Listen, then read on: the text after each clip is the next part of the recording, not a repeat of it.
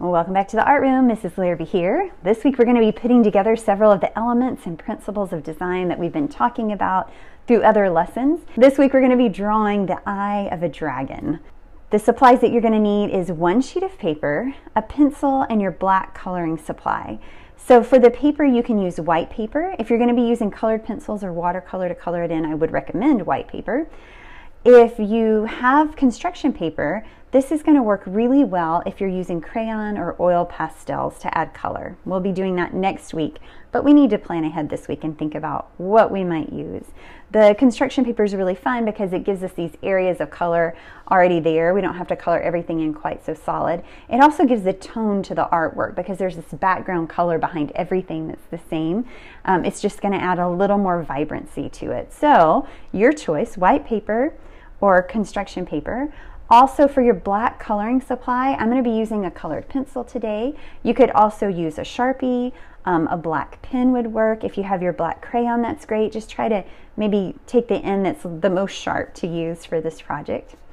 All right, grab those supplies. We'll get started. This week we're going to be looking at drawing. We're going to use this idea of a dragon to help us learn the different parts of how we would draw an eye.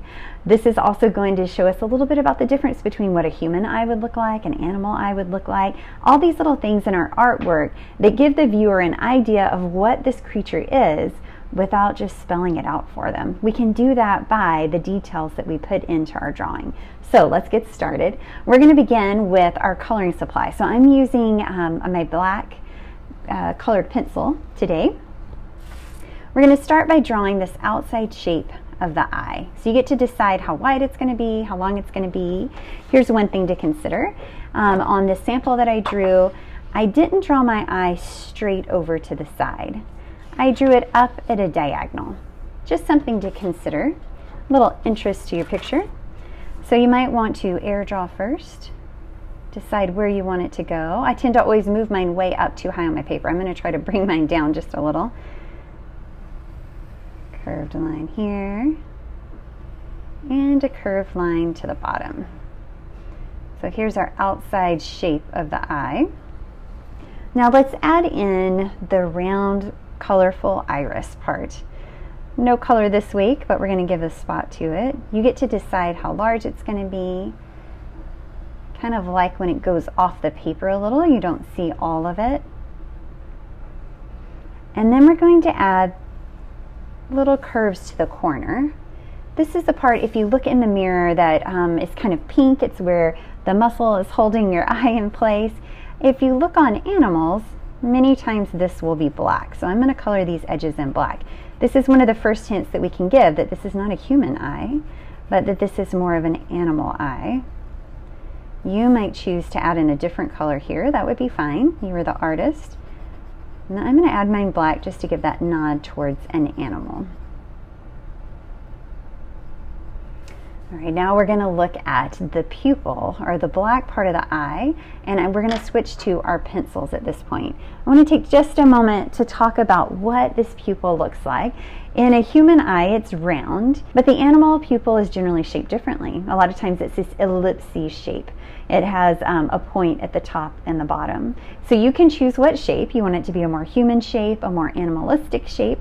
You can choose whether you want it to go straight up and down in a vertical way, or if you want it to go horizontal.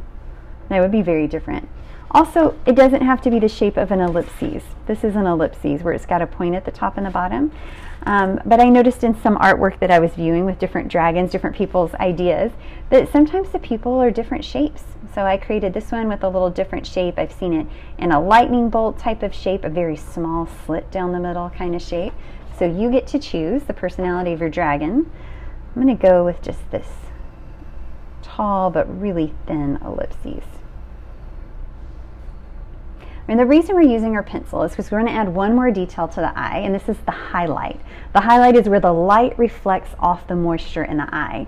This shows life. So if you want your picture to look more lifelike, you definitely want to include this highlight. Let me show you really quick this painting. This is called Girl with a Pearl Earring. It was painted in the 1600s by Vermeer. And it shows the highlight in the eyes where the light's reflecting from the window. Vermeer was known for painting light into his pictures. So we get to learn from the master of painting light here. um, how to add this into the eye. This could be done by adding simply an oval to the side. Sometimes you could add an oval with a smaller one. On this artwork, I added more of a crescent shape. On this one, I added a little bit more of a rounded shape. So again, your choice. I think I'm going to go with the oval. Kind of like for it to intersect the pupil of the eye. And I'm going to add two spots. Anywhere that your shapes have overlapped, you now want to erase. And that's why we used our pencil. now we can go back over it with our black coloring supply. Just give it a bold outline.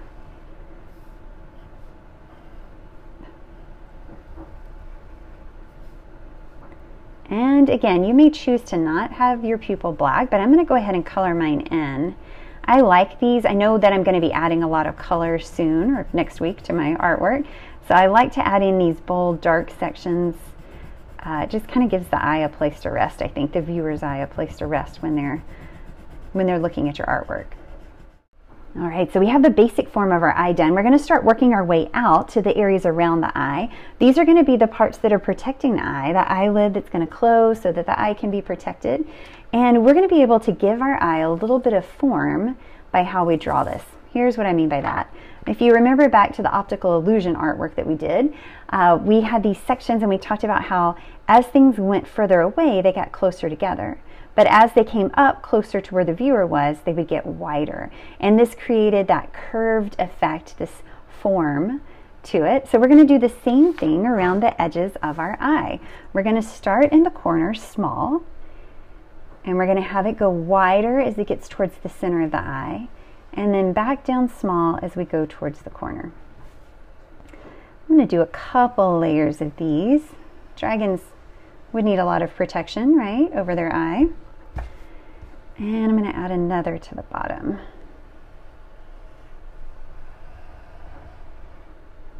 We'll come back and add some more detail to that in just a minute. As we're going further away from the eye, we're going to start to get larger and we could even change shape. I'm going to start adding some scales. Since scales overlap, I'm going to just let my uh, shapes overlap as well. I'm going to start on the corner of the shape to make the next one. You can choose what shape this looks like for you. I'm using the same idea. I'm going to start to get larger as I go towards the center of the eye. I'm going to let it go right off my paper too. And then I'm going to have my shapes get smaller and closer together as they go towards the corner.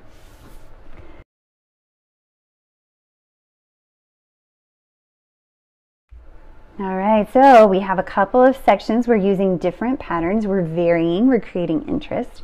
Uh, here's where you can have fun. We're going to create our biggest patterns now, furthest from the eye. You could add in something kind of like this horned look around the edges. Uh, a bigger pattern towards the back. How would you envision these scales looking? How would they overlap? Would they be geometric shapes with angles? Would they be more of these rounded kind of shapes? Because they're the furthest from the eye, they're probably going to be the largest pattern that you add to your paper. Again, letting it go off the sides.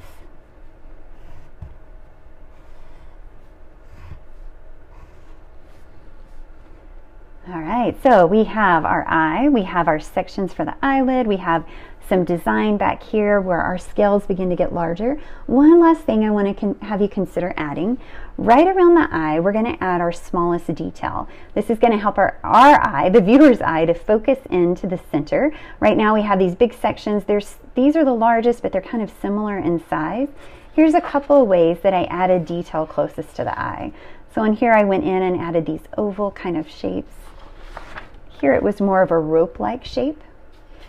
Let me show you an example of how this might look. I can add these wider lines, kind of curving them around the edge. And this uh, starts to divide it up, but I'm still seeing kind of the same look here.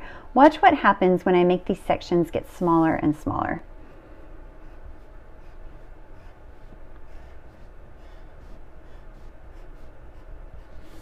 All right, I think it's starting to bring the eye in. The viewer has somewhere to look. Let's go a little bit smaller.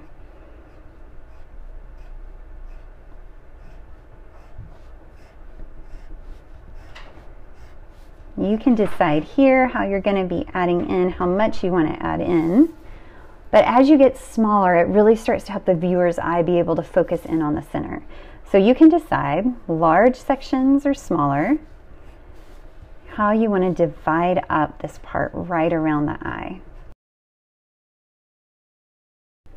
And here we are with our finished drawing. We have uh, discussed things that make it look more animal-like versus human-like. We've talked about adding the highlight uh, to give it that appearance of life.